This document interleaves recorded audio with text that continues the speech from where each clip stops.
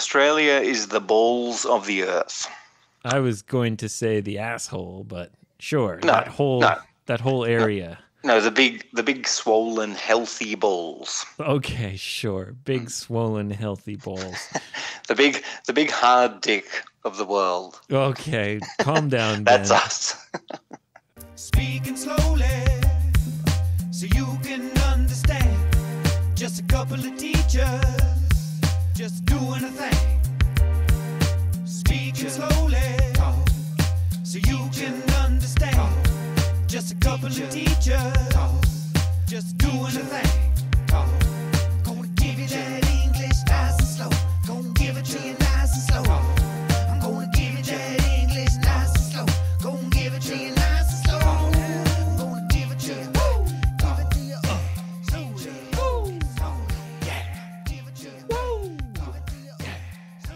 Oh, yeah.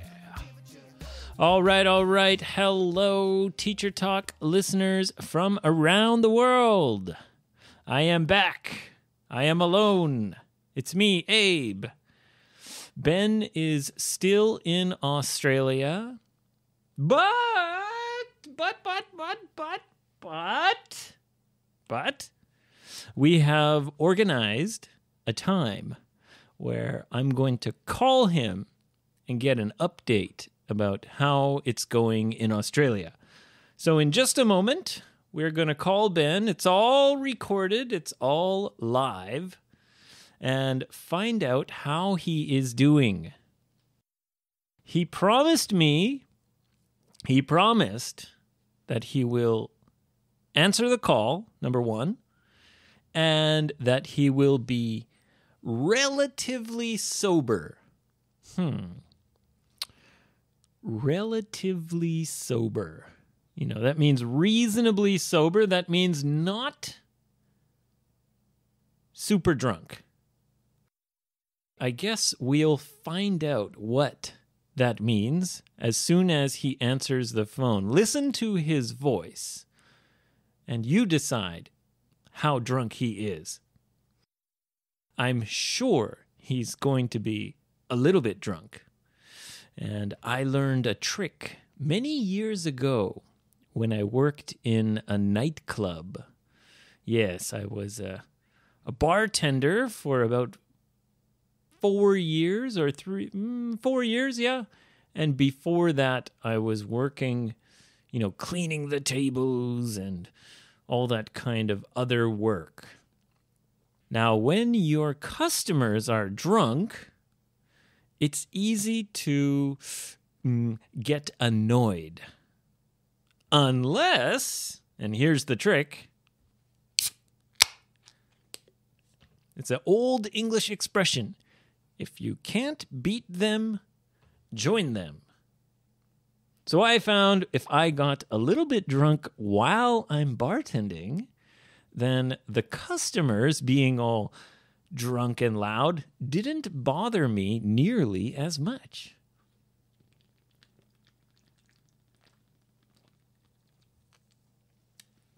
Ah, all right. I'm ready. Let's go. Let's see what's up with Ben. Here comes the call. Something's wrong with my computer.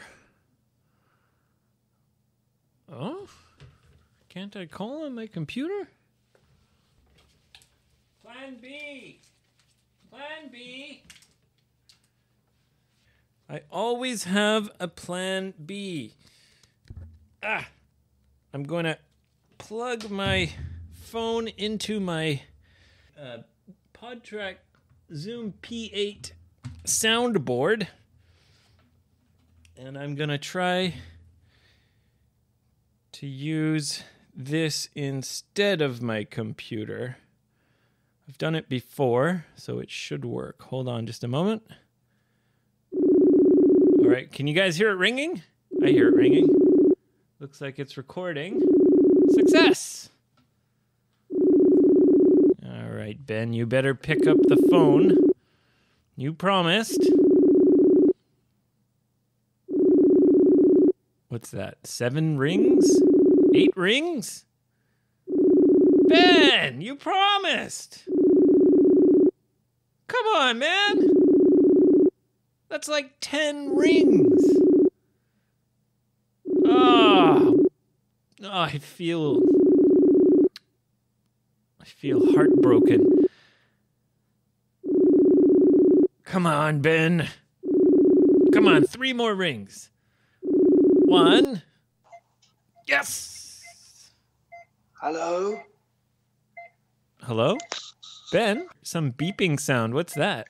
Abe, I mean, it, it's bad news, man. what's what's bad news? I'm in the hospital, Abe. Shut up. I'm in the hospital, Abe. Are you really? Yeah, the ambulance. They just brought me in. what? Let me tell you, Australia has not been kind. Australia hasn't been kind. You mean it's been it's been tough? It's been hard? It's been tough, Abe. I've been stung by a jellyfish. I've been I've been bitten by a crocodile. I've been I've been jumped on by a kangaroo. Well, this morning you sent a beautiful picture of the beach. Well, it's gone downhill since then. Let me It's tell you. downhill. What happened? The thing. The animals, the dangerous animals, Abe, and the doctors say I might not live. Bullshit. It's you're true. not. You're not in the hospital. What's that beeping sound? Well, that was the hospital machines, but I'm out now. I feel a lot better. Wow, that was fast. You know me. I'm a strong man. What? How did you get that beeping sound? Well, that's my uh, hospital background noise. Oh, just from your phone or something? No, from my laptop. You know I'm a sound man. Ah, you tricky dog. You know I'm a tricky sound dog. Oh, Ben, it's so nice to hear your voice. Ah, yes, I've missed you, Abe. I've been uh, in the southern hemisphere for a few weeks now. Yeah, you've been in Australia almost a month, right? Almost a month. Actually, by the time I come home, it will be just over a month. And Australia's on like the bottom part of the world, Down under. down and low as you can get. Australia is the balls of the earth. I was going to say the asshole, but sure, No, that whole no. that whole area. No, the big, the big, swollen, healthy balls. Okay, sure. Big mm. swollen healthy balls.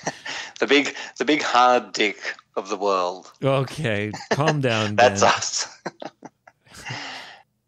You you were at the beach, right? I was. I've been at the beach almost every day. I'm in Almost- Australia after all. Wow. And it's summertime. It is summertime, so I'm staying in a suburb of Melbourne called St Kilda. St. Kilda. Yeah, which is the beachside suburb of Melbourne where I was born. Actually, Oh, how nice. I'm all the way back home. I'm I'm seeing friends, family, dangerous animals. I'm horribly sunburned. You didn't wear sunblock? It doesn't matter. You know me. I'm a I'm a Snow White princess, Abe. So it doesn't matter. You're a snow white princess. Is it that bad? Because I know in Australia the sun is stronger than other places. It's true. It's very intense. It's very intense. Even though you burn so easily, you've still Yeah. been going to the beach every day? I can't help it. It's in my blood. I'm a beach boy. You know me. I'm a bit of an ocean man. I'm a merman. Uh, I, I'm at home with seaweed, fish, uh, starfish, sand. You know, that's my But- thing. So when I come back to Japan, you are going to be shocked because I am beautiful golden brown, like a freshly cooked chicken. You just said you were terribly burned. Which is it? I well, I am, but you know, my arms are a nice golden brown, uh, but all the other parts of my body are red. Uh, because your arms are used to getting a suntan. Exactly. Uh, you've been getting naked and lying in the Australian sun. Completely naked. Uh, I take off all my clothes and I spread out on the beach, and um, it's not long before the police come. Yeah, swimming every day, uh, you know, meeting family. It's been like four years since I was home. Wow, four years. Four years. You told me you'd be relatively sober. Uh, yeah, I am relatively sober. Um, Oh, I've been, you know, I'm not going to lie. Good, don't lie. Fa- no, I wouldn't to you. Well, don't. Never lie to a good Because if friend. you do, you're in big trouble, okay? What are you going to do? Hey, lie and you'll find out. Okay, you're going to hit. You're going to hit me. I am going to get you. You're going to get me. I'm I can't get you. wait. I can't wait to be got.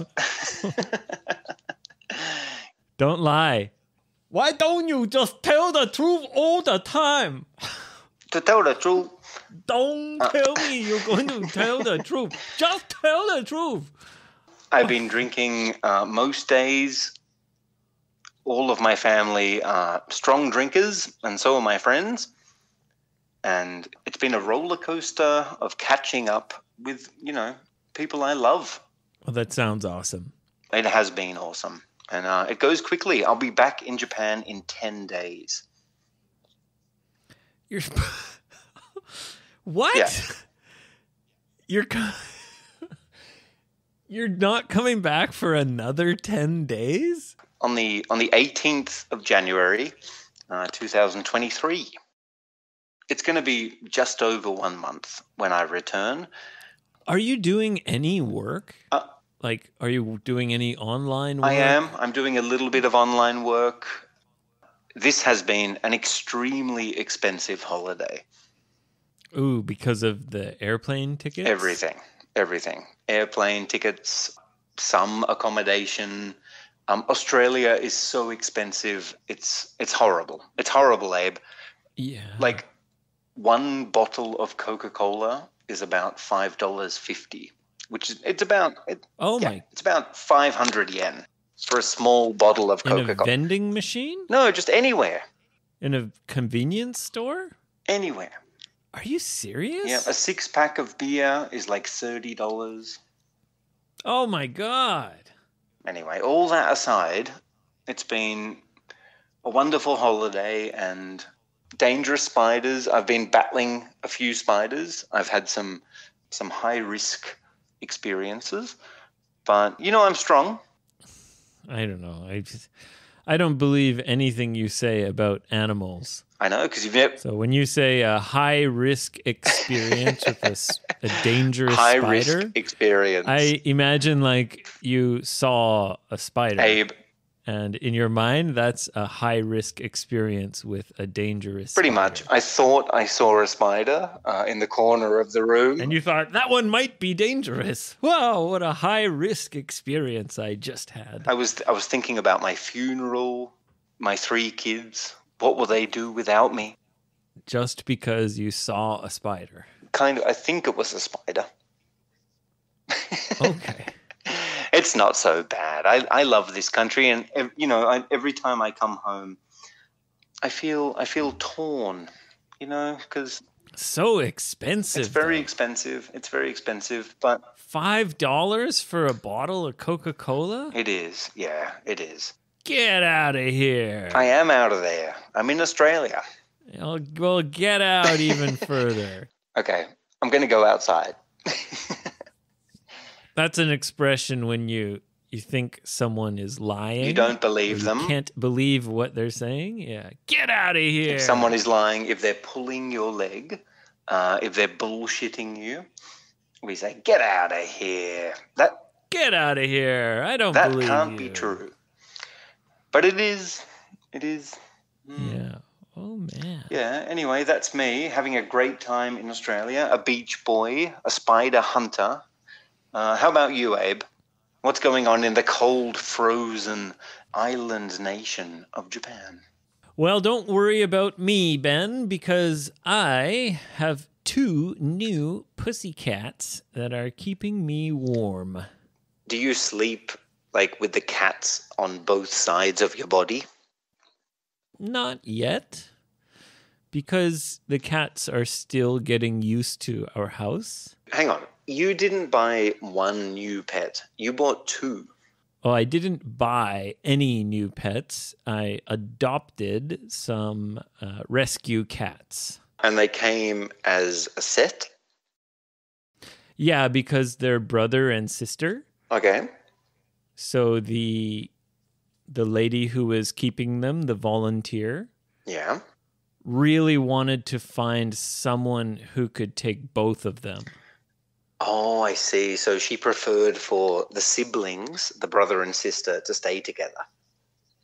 Well, that's nice. That's sweet. Yeah, and my wife and I originally wanted to get two cats, even back when we got Cleo. Rest in peace. But the thing is, cats often don't get along. Yeah, they're weird animals. Yeah, right? They enjoy their own company, meaning they're happy to be alone. But these two cats are like best friends. No fighting. No, never, no. They always sleep like snuggled Aw. together and they're all they're hugging each other all the time and when when they can't find each other, they're like meow meow, where are you? It's so cute. Where are you? Yeah. And they're so different. Okay, so I'm really looking forward to meeting them. One of them is like a a big kind of tabby pattern, like kind of classic, kind of gray green pattern tabby cat. Okay. Kind of chubby male. Right. H- hang on. How how how old is this? Is this male? They're six months, both of them. They were born together. They're twins. Well, Ben, cats are born in a litter. They have many brothers and sisters usually when they're born. I feel so stupid. I knew that. For a second. They're twins. How rare. Twin cats. Congratulations, Mr. Lawson. It's twins. Well, that's the thing. You would never think they're brother and sister because the male, I call him Sergeant Pepper, he's chubby and tabby pattern, kind of green gray. The female is Lady Caramel. Okay.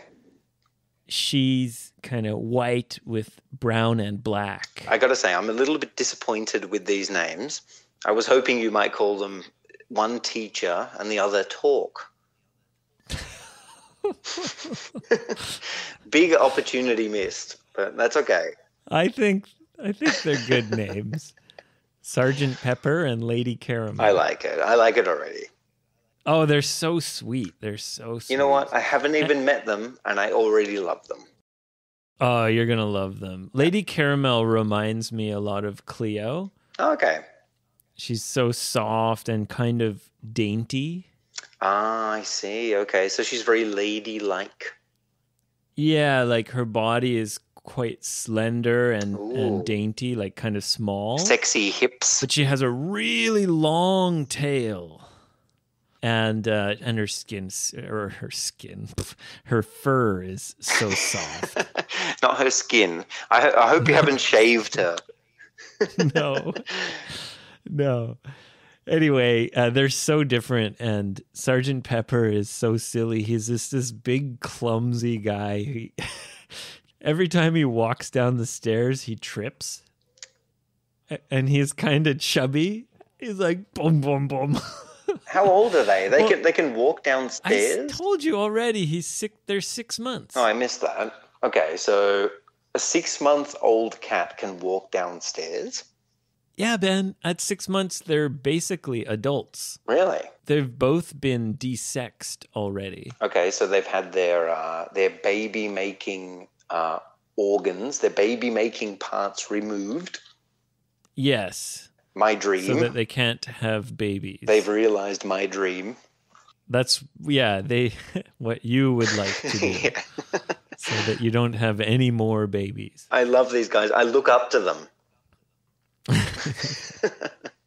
They're your desexing senpai. Oh yeah. Notice notice me. Anyway, sorry, I'm going on and on about my new cats because I'm so excited about them. Uh, I'm excited to meet them. especially now it's been about one week so they're starting to get more comfortable and really warming up to me Sure, sure. and i'm playing with them and wrestling with pepper and oh they're so darn cute How are they with the baby?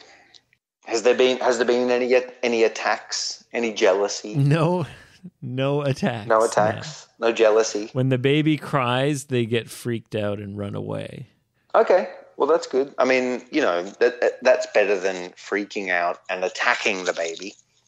it's Yeah. definitely better than that Yeah. Nobody wants that. Anyway, Ben, have you been in touch with your army of freaks and weirdos on Instagram? Look, I'll use this uh, this episode, this international episode, as an opportunity to apologize to my freaks and weirdos. Uh, it has been a very busy time for me, Drinking every day, going to the beach every day. an exhausting time. Yeah, No, there's a lot more going on. there There's fun stuff and difficult There, stuff. there's some Uh, there's some difficult things going on. We won't get into it, but um, yeah. Look, look, I just want to say, don't worry, I'll be back in full effect, 100%. And I would also. Why don't you post some pictures from Australia? okay, you know what? I will, fine, I will. I hope you do. And I also want to say a big thank you to, to Christian for, for stepping in and keeping this teacher talk train on the tracks. Christian, what a what a nice guy, eh? What a great guy. Yeah, he uh, he stepped up to the plate. He did, like a famous baseball batter, and he hit that teacher talk ball out of the stadium, He he knocked it out of the park. out of the say. fucking park. You know when you do a really good job. Oh, he knocked it out of the park. Yeah, or he killed it. But in Australia, baseball is not common. So would you say that he knocked it out of the park? I mean, you know, American culture kind of uh, has influence everywhere, so we do use that. But more commonly, we'd say he killed it or he smashed it. Ah, yeah. you know, I listen to to the episodes, and I'm very proud of Christian. I, I look at him like a son, um, and uh, uh, you know that, that I raised, and uh, in the in the podcast family, and I'm very happy with the results. Very proud of my proud of my podcast son, my pod son. You've you've never even met him. I have met him once. Uh, your memory fails you, Abe.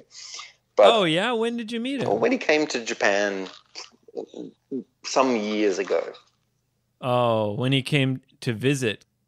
when I first met him, as soon as I looked into his beautiful eyes, I knew um, this was the son I I hadn't yet had. Um, but now he has been born, and he's he's done a great job. Anyway, one day, hopefully, Abe, we can uh, enjoy Melbourne together, and I highly recommend Melbourne, as always. You and me, Abe. Gosh, another 10 days before you come home. I'm already um I'm dreaming of powdery snow. Oh, powdery snow. Yeah. God, I haven't even thought about snowboarding this year. I've been thinking about snowboarding. I don't think I can because our baby won't start daycare until later in the spring. You will go snowboarding with me at least once this season. I don't care if I have to strap your baby to my chest. It's gonna happen. Well, if you can convince Mrs. Lawson, then I will definitely uh, be okay with that. I'm gonna put some kind of sleeping drug into Mrs. Lawson's tea, and then we're gonna take your baby. I'll put her inside my jacket, and we're gonna Oh, God. Snow, couple of snow dogs gonna gonna hit those slopes. Oh, All right. Sounds good. it does. So much stuff to talk about, Ben. All right, we'll save it for next episode. I've had some beautiful uh, messages from listeners asking why I'm away and when I'm coming back. I'll just say this: I was already planning to come home for Christmas, and I've had some some family issues to attend to. But uh, don't worry, guys. I will be back and stronger, better, more tanned, and uh, sexier than ever. You're going to be so sexy when you come back and we make another video. I'm going to be embarrassed. When I land in Tokyo, the police are going to arrest me in the airport for being too sexy. I'm going to need a good lawyer, Abe. I'm going to need legal help. I'll do what I can do, but uh, I wouldn't worry about that, Ben. You're sexy, but you're not that sexy. If you could send some kind of sex lawyer to meet me at the airport, um, I would appreciate. I would appreciate that. Uh, you're, just a, you're an idiot. just a, Okay, I'll arrange the sex lawyer, Hmm. all right. Well, you got it. Okay, Yeah, count on me. I do. When Endlessly. someone Abe. needs a sex lawyer, they call Abe. They sure do. Everyone knows that. They sure do. Although I think you meant a sexiness lawyer, Oh no, just a general sex lawyer. I mean, you know, just in general. yeah, okay, you know, sure. handles all issues related to sex, including sexiness. Okay. Mm. All right. All right. Well, if you are a general sex lawyer, a Practicing sex lawyer. please send an email to fbeteachertalk at gmail.com. Ten days. The Uh, count. ben is going the to countdown is on, need your services in about 10 days. guys. We don't have long to get the sexy documents together, so I can get back into Japan without any problems.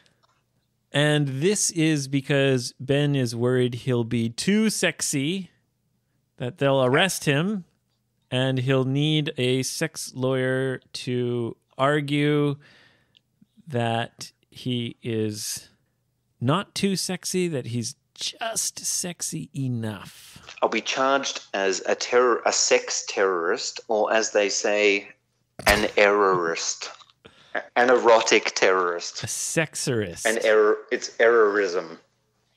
Right. Okay. Okay, Ben, goodbye. We got some stuff to do uh, that we didn't get around to. We'll let's let's talk again on the phone in about a week. How about that? I look forward to it, Abe. Thank you, everybody, and uh, don't worry about me. I'm just punching jellyfish and kicking kangaroos in their stupid pockets, and I'll be back soon, sexy as ever. All right, Ben. Okay. Well, uh, the sex lawyer will be waiting for you in Narita. And I shall have uh, I shall have his payment ready to go.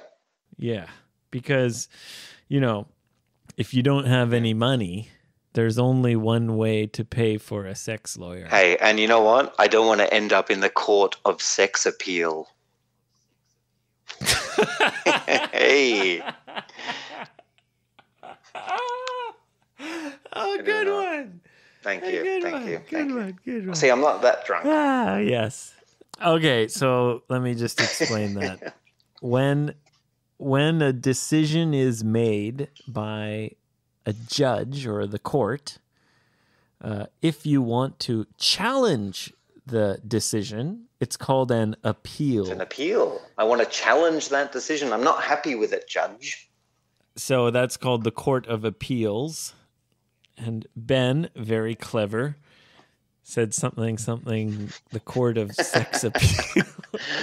Hey, guilty. Because sex appeal means your sexiness, how much you appeal much to people, people- sexually. Your How badly appeal. do people want to fuck you? I'm guilty. All right, guilty. Yeah. Put me away. Put me away, Your Honor. Whoa!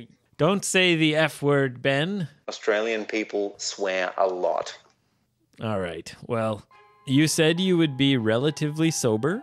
and I am. And I guess this version of Ben is what that means. Oh, Relatively. Oh, thank you. Rel- Okay, Ben. Miss you, buddy. kiss, kiss. I've got a little bit more parenting to do tonight, it looks like, but I'll be back in a week. Okay, buddy. Sounds great. Take care. snow dogs, snow, snow dogs. When it's winter time and the snow starts falling, that's when the snow dogs go snowboarding. Shredding it up on the mountainside when the snow dogs come ain't no place to hide. Digging, sniffing, doing sweet